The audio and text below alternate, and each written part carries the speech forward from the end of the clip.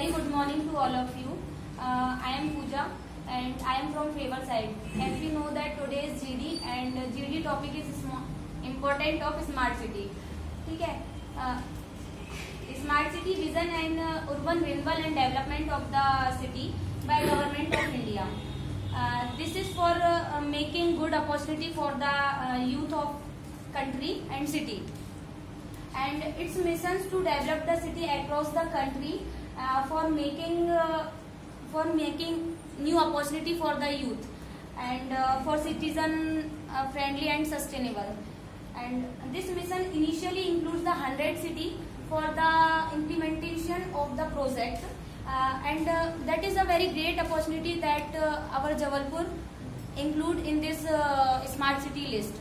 So we can and now we can see that uh, 20% of the development has been done in our city.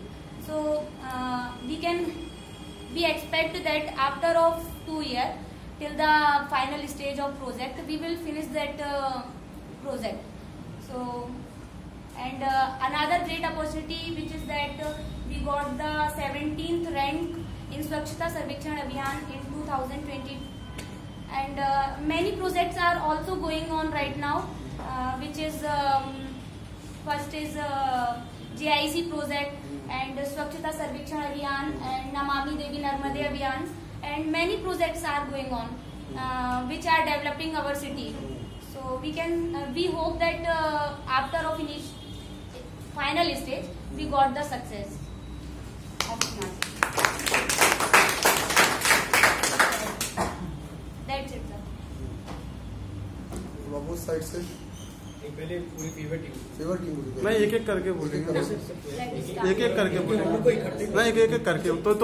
तो आएगा। नहीं नहीं वो एक एक करके बोलेंगे। चलो स्टार्ट करो।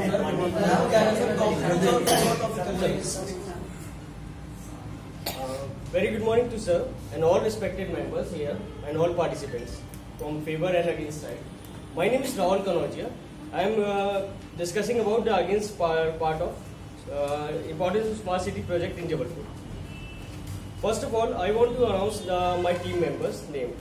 My name is Rahul Kanodia. I have Mr. Mukesh Burman, Indu Tiwari, Hindu Sharma Shiny Tiwari Rinki Dubey Swati Tiwari Pratiksha ji a, Arpita Yadav Suraj Harsh Pathak Rishabh Kori Saransh Rajput and रतन यादव हमारे जो टॉपिक्स हैं आज, हम उन टॉपिक्स के थोड़ा सा डिस्क्रिप्शन भी देना चाहते हैं जिसपे हम डिस्कशन करना चाहते हैं। About Jabalpur and smart city project sustainable development forestation deforestation affecting the life of flora and fauna transport and roadways traffic signals and waste collection vehicle environment drainage system financial status education job skills sports management, impact of project on natural resources and poor people, health services, public transport, ये हमारी topic है Now coming back to my uh, part, what do you mean by smart? मैं पहले ये जानना चाहता हूँ smart city तो हम कह रहे हैं पहले हमें ये बताइए स्मार्ट कौन है अभी मैं जैसे मैं ही एंट्री किया तो मुझे कुछ लोग बोलते थे स्मार्ट लेकिन स्मार्ट का मीन्स क्या है मैं पहले बता देता हूँ specific measurable achievable relevant and time bound तो पहली बात तो है कि हमारे यहाँ जो प्रधानमंत्री जी ने बहुत अच्छा चालू किया स्मार्ट सिटी लेकिन जबलपुर में 2015 से काम चालू हुआ है 2023 तक का प्लान है हमारे यहाँ स्मार्ट सिटी प्रोजेक्ट का। क्या वाकई हो रहा है क्या? हमने आस, अपने आसपास देखते हैं जिस तरह से कार्य करती है टाइम बाउंड तो है ही नहीं। मेजरेबल कुछ भी नहीं है। जितना भी फंड आया उसमें मैक्सिमम तो जो है यहाँ पे डिस्ट्रीब्यूशन हायर लेवल से लेकर लोअर लेवल तक डिस्ट्रीब्यूट हो चुका है। साथ ही साथ जबलपुर की पब्लिक को ऐसे कुछ पॉइंट्स नहीं मिले या कुछ भी इम्पोर्टेंस नहीं मिली गई है नहीं दी गई है। इतना ही होता तो हमारे आई टी कंपनीज़ होती है, हमारे पास इंडस्ट्रियल सेक्टर होते हैं अभी तक। हमारे यहाँ मंदिर तोड़े गए इसमें, हमारे यहाँ डिफॉरेस्टेशन किया गया, पेड़ वेड़, बहुत सारे काटे गए, लेकिन उसको अफॉरेस्टेशन नहीं किया गया। यानी कि अफॉरेस्टेशन मीन्स कि यहाँ पे कहीं भी इसको लगाया नहीं गया दोबारा। भेड़ाघाट की रोहड़ी मैं गया था। वहाँ पे तकरीबन आप यकीन नहीं मानोगे more than one thousand trees है जो अच्छे अच्छे थे अ, मतलब गाँव के ही थे। आम के पेड़ हो गए बरगद के पेड़ हो गए पीपल के जो हमारी हेल्थ से रिलेटेड भी हैं और हमारी कल्चर से रिलेटेड भी है। उसे भी तोड़ा गया काटा गया उन्हें सबको लेकिन उन्हें कहीं अफॉरेस्टेशन नहीं किया कहीं पे रिप्लेस नहीं किया। अब मैं आता हूँ अपने मेन पार्ट्स पे, जो मुझे बोलना चाहिए कि स्मार्ट शहरों की आवश्यकता या इस प्रोजेक्ट की फ़िलहाल जबलपुर में आवश्यकता नहीं है। सबसे पहली बात हो जाती है गूँगा प्रशासन। दूसरा हो जाता है इनकेपेसिटी ऑफ़ एक्सपेंडिंग एक्सपेंडिंग होता है यूटिलाइजेशन ऑफ़ प्लेसेस और in location in Jabalpur and planning and investment of funds in a proper use पहला हो जाता है गूँगा प्रशासन।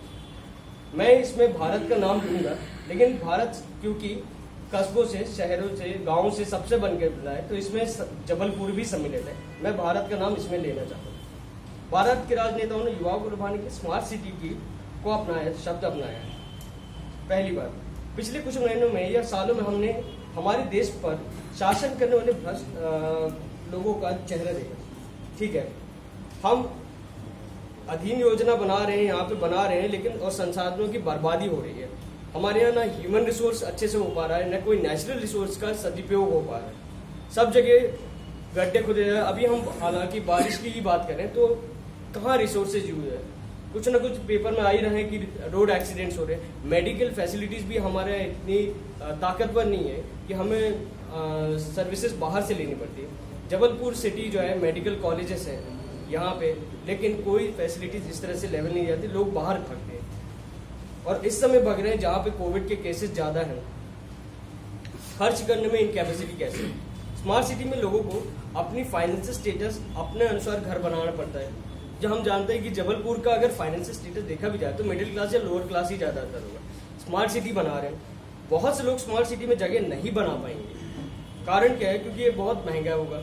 सीधी सी बात है, हर चीज़ महँगी हो रही है और महँगी होगी भी खरीदने में। इस प्रकार मिडिल क्लास और लोअर क्लास के गरीब वर्ग के लोग स्मार्ट सिटी का लाभ नहीं उठा पाएँगे। तीसरा पॉइंट आता है uses of proper places and locations smart city के निर्माण के लिए बड़ी एकड़ भूमि बर्बाद हो जाएगी। जो यहाँ पे किसानी हमारा देश कृषि प्रधान है। उसमें ऐसी जगह हमारे यहाँ गायब की जा रही है। यदि सही तरीके से उपयोग किया जाता है तो इस क्षेत्र के बाद में जैव विविधता बोलते हैं जो, या पार्क में बदल दिया जा सकता है। ये सबसे अच्छा उदाहरण है। हमें उस पर वर्क करना चाहिए, ना कि स्मार्ट सिटी प्रोजेक्ट पे। साथ ही साथ नदी, तालाबों, पहाड़ी क्षेत्रों में समृद्ध शहरों का पारिस्थितिक अधापतन हो रहा है। मतलब इसमें से डैमेज डिस्ट्रक्शन हो रहा है और लॉस हो रहा है। Coming back to my fourth point ये हो जाता है कि uses of fund in a proper way Bharat एक ऐसे देश है जो अपनी बढ़ती गरीबी के लिए बेहतर जाना जाता है। हमारे यहाँ अनाउंस तो होता है कि हमारा देश है जो गरीब तक कर रहा है तरक्की कर रहा है। जीडीपी देखो वो कैसी है। एक अगर आप होल कंबाइन देखेंगे तो हायर क्लास ही बढ़ रहा है। मिडिल क्लास और लोअर क्लास तो काफ़ी सफ़र कर रहा है। साथ ही उसमें से सबसे ज़्यादा मिडिल क्लास कर रहा है। क्योंकि हायर क्लास के पास भी अपॉर्चुनिटीज़ है, वो तो कैसे लोअर क्लास जो है, वो वो कहीं ना कहीं उनको सब्सिडीज दी जा रही है। और बहुत सारी फैसिलिटीज़ फंसते कौन है हम मिडिल क्लास में हमारे पास जॉब की भी नहीं है जॉब भी नहीं है हमारे यहाँ, ना ही वो बिज़नेस के लिए ऐसा कोई मीडियम बना है। बहुत से देशों में प्रोवाइड किया जाता है।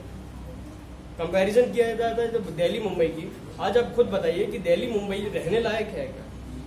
हम कंपैरिजन करते हैं बड़ी सिटी से, क्योंकि हम स्मार्ट सिटी का हमको वहीं एक मीनिंगफुल दिखता है।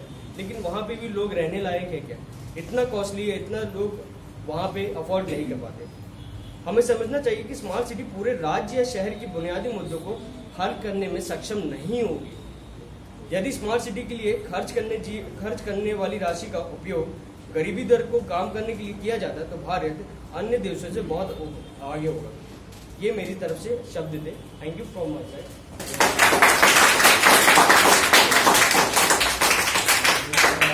favourite favourite team से कौन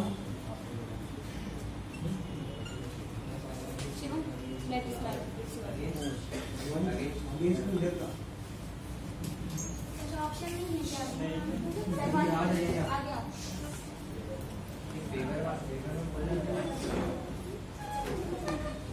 स्टार्ट करो स्टार्ट करो। स्टार्ट करो।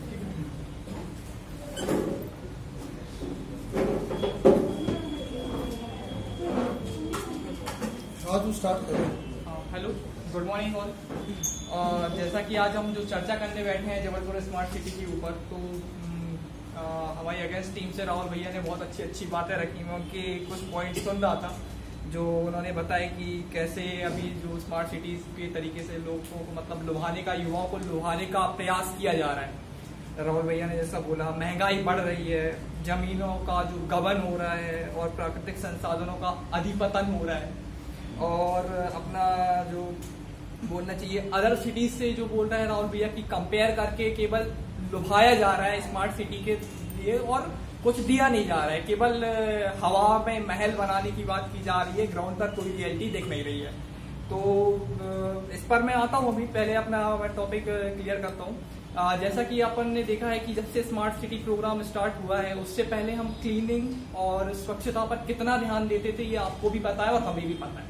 स्वच्छता के प्रति हम कितने जागरूक थे, आप और हम, ये हमें भी पता है और आपको भी पता है। हम कितना अपने आपको अपने आसपास के वातावरण को, अपनी सिटी को, अपनी रोड्स को, अपनी स्टेशन को और जो भी पब्लिक ट्रांसपोर्ट से या जितनी भी सरकारी संपत्तियाँ हैं, हम कितना वहाँ पर स्वच्छता का, सफ़ाई का ध्यान देते। थे ये हमें और आपको सारी चीज़ें जग ज़ाहिर है।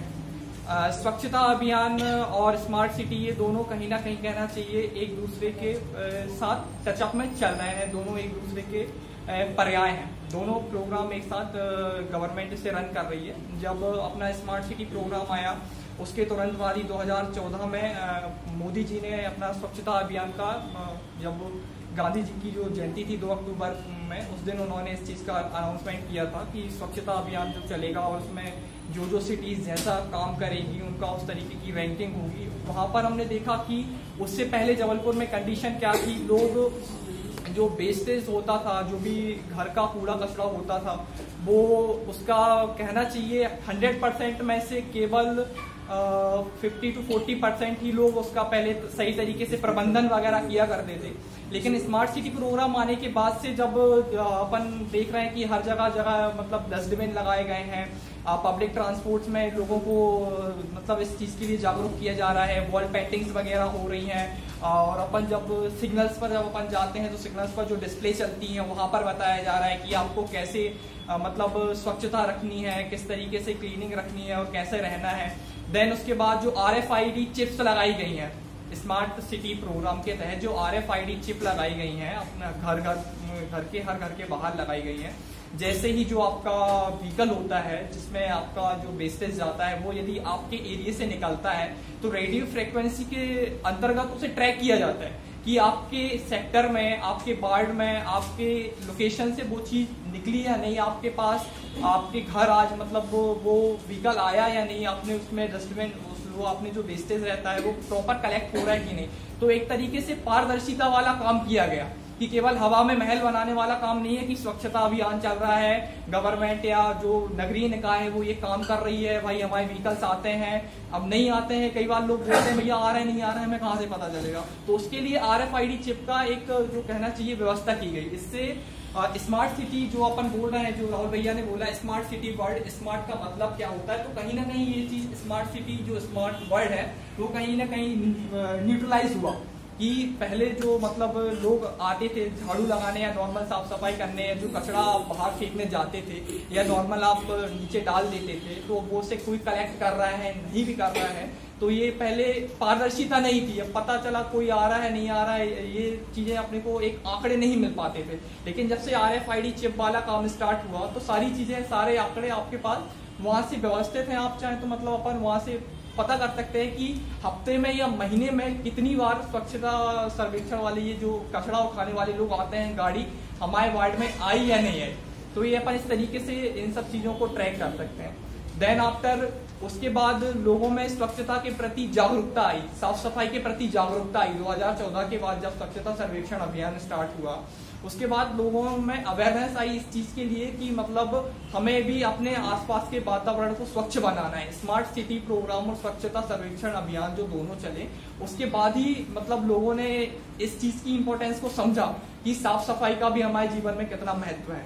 और ये कहीं ना कहीं कहना चाहिए ये स्मार्ट सिटी प्रोग्राम और स्वच्छता सर्वेक्षण अभियान के आने के बाद ही लोगों के माइंड तक पहुँचा और फिर उन्होंने ये सब चीज़ें ओके थैंक यू